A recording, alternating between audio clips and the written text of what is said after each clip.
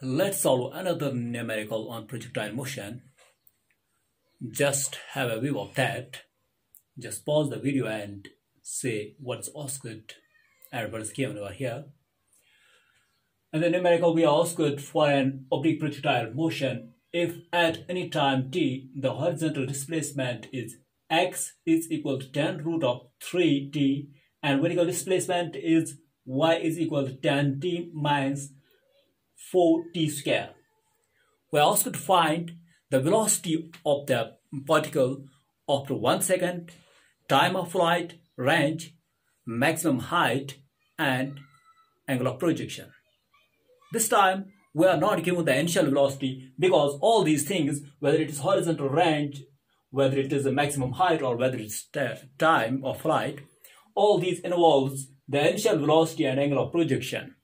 We this time know not the values of u and theta.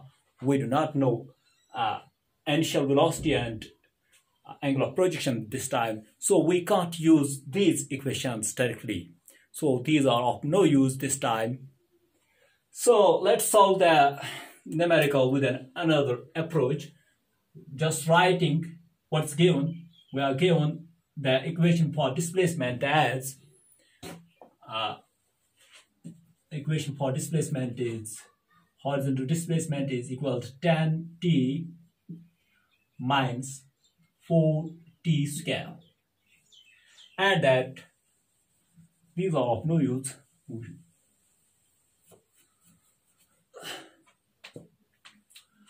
And vertical displacement is uh, y is equal to tan t minus 4t square I'm somehow wrong. I'm somehow wrong. The horizontal displacement is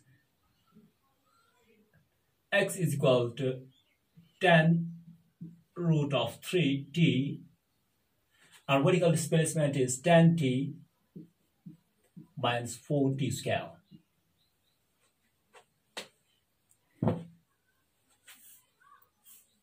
We know that velocity, instantaneous velocity, is the rate of change of uh, displacement. So the horizontal velocity Vx will be dx by dt.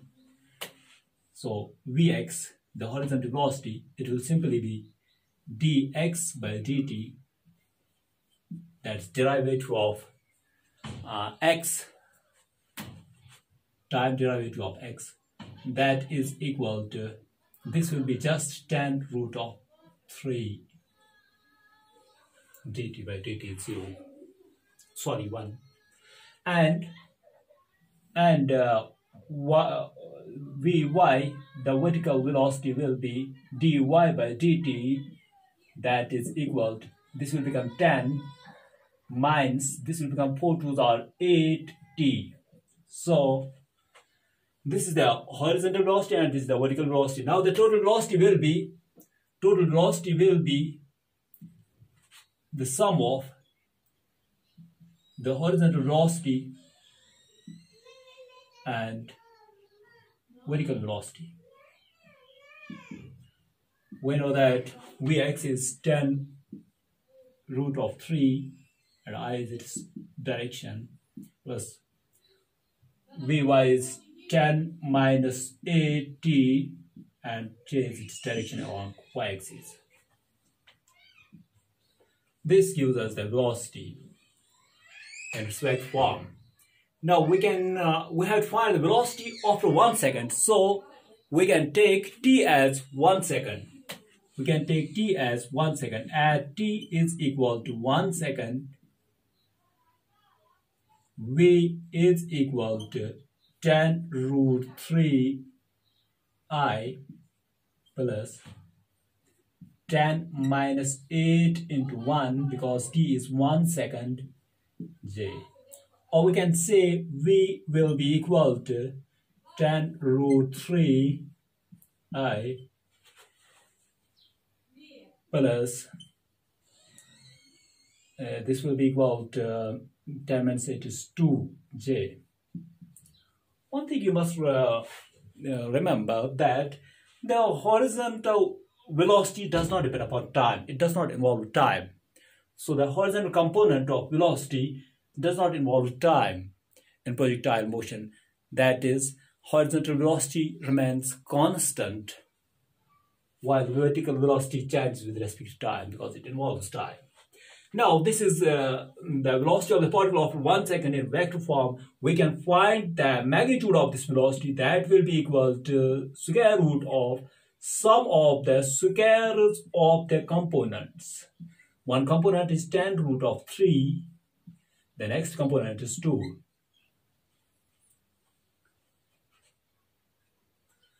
Now, this will be equal to under root of 10, that will be 100 into 3, that will be 300 plus 4. So our answer is under root of 304 meters per second. This is the velocity of the particle after one second. Now, coming to the second part of the question, let's find the what's called to find the time of flight. To find the time of flight. Just try over here.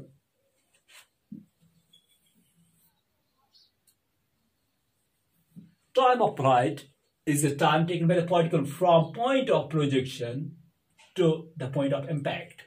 And we know that at point of impact, the time t will be equal to time of flight at this point. It will be time of flight.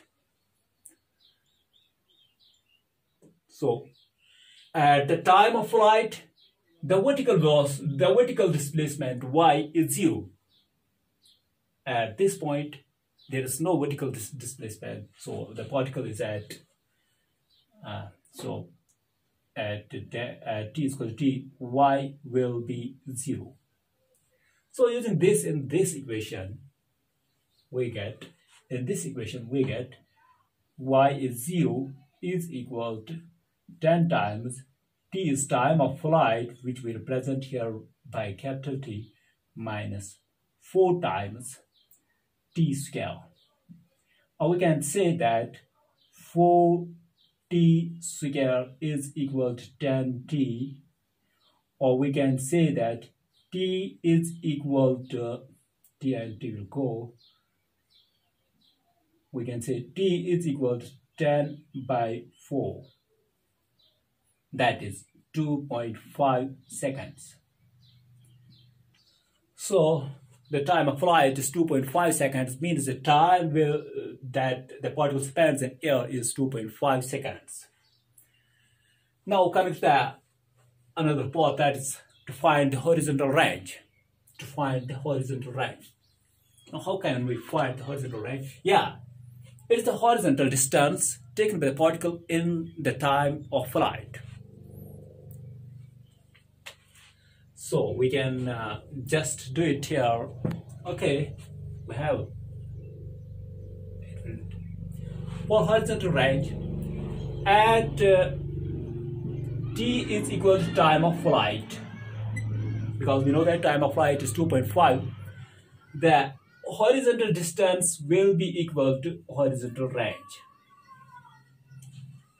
Means at this point the horizontal distance will be this the horizontal range the particle spans 2.5 seconds from this point to this point and it covers this much of distance which is the horizontal range. So horizontal range is the distance covered by the particle during the time of flight. So uh, writing here or instead of uh, x because at this time x is equal to or so writing or or will be equal to in this equation or will be equal to 10 root 3 times 10 root 3 times t. We know that t is 2.5. So now this will be 25 root 3. 25 root 3. This much of meters will be the horizontal range. Now coming to another point that is to find the maximum height. maximum height. We can solve this in many ways. One thing is to uh, maximum height is this much of distance, but uh, this much of distance is the maximum height. One thing is, one way of solving this question is like this. The particle will take half time from point of projection to the highest point because we know that time of ascent is half that of time of flight. Similarly, time of descent is also the half of time of flight. We are here concerned with the time of ascent. Time of ascent is the half of that half that of time of flight. So we can write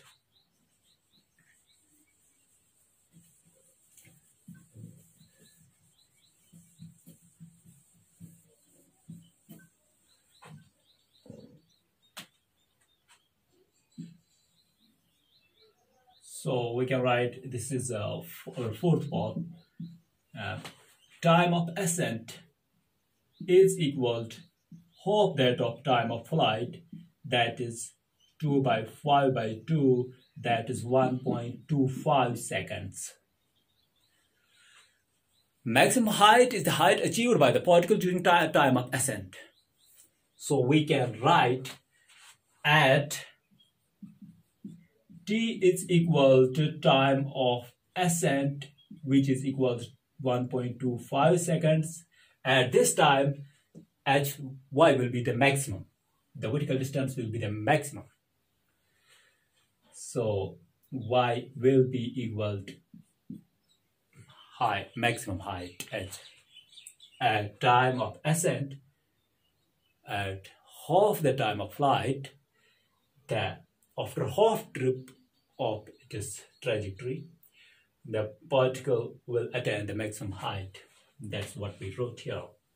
So writing this in uh, y will be equal to h, y will be equal to h is equal to 10 times and t, t is time of ascent this time, it will be 1.25 minus 4 times t square 1.25 square. Or we can get h is equal to 12.5 minus 4 into then, then you will multiply 1.25 into 1.25 it will become I think 1.5625 something like that. Or h is equal to 1 2.5 minus it will come 20 uh, 820 so 0 0 4 so 34 fives are 20 and it will become something like that 6.25 something like that. H will be equal to 6.25 well this is half that of this this much of meters. So the particle will this is the expression for maximum height. So the particle will go 6.25 meters high.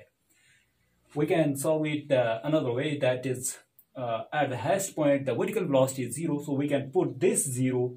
Here we will get t that will be equal to this much 1.25 that we can use in this equation to get the horizontal range now, the, our last part is to find the angle of projection. And we know angle of projection is uh,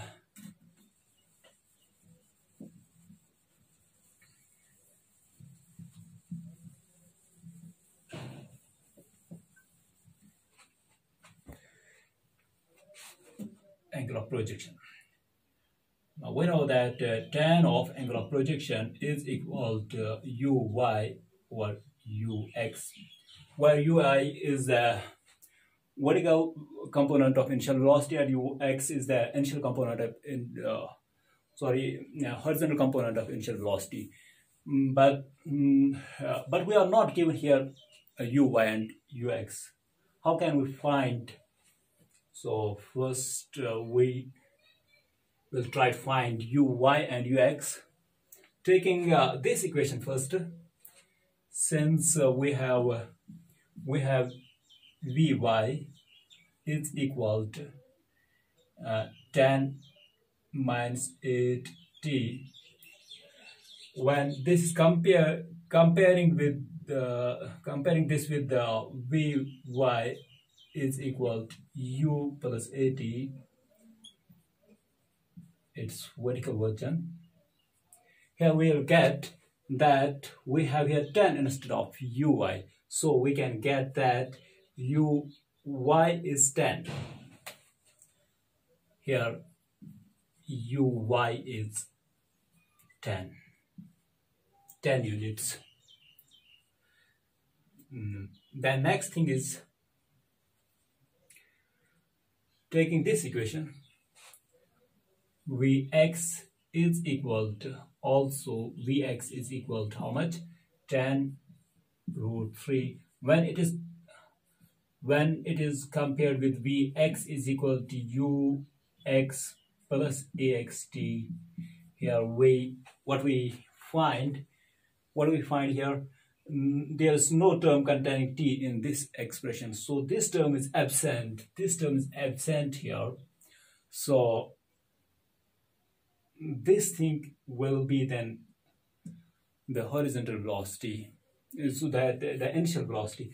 And we know that uh, the horizontal velocity does not change with respect to time. Horizontal velocity does not contain time. It does not contain time.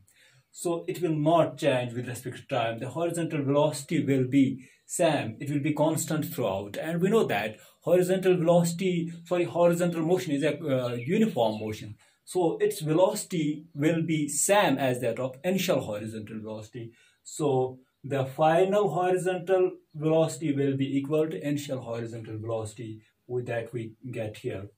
That is ux will be also equal to what is vx that's 10 is for 10 root of 3 so we'll get here ux ux is how much? 10 root of 3 now we can use the values of uy and ux to find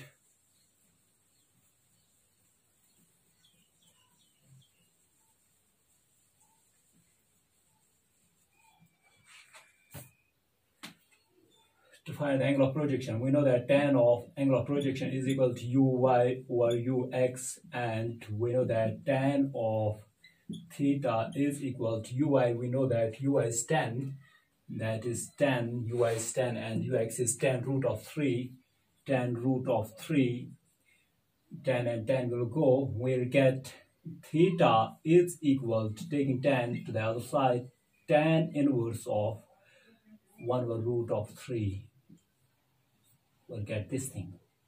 Or wave. And we know that tan inverse of 1 over root of 3 that is 30 degrees because we know that tan of 30 is 1 over root of 3 so what we will get here tan inverse of this much is tan of 30 tan of 30 is root of 1 over 1 over root of 3 so we'll get an inverse and will go, it will become 30 degrees. This is the angle of projection. Such type of questions, while we were not given the initial velocity nor the angle of projection, that uh, we could have used in the standard formula for maximum uh, height, the time of flight, horizontal range, and all that. But we do not have these things given. So such questions, while we uh, solve the problem by uh, an alternate method other than using the direct formula, these are called conceptual questions.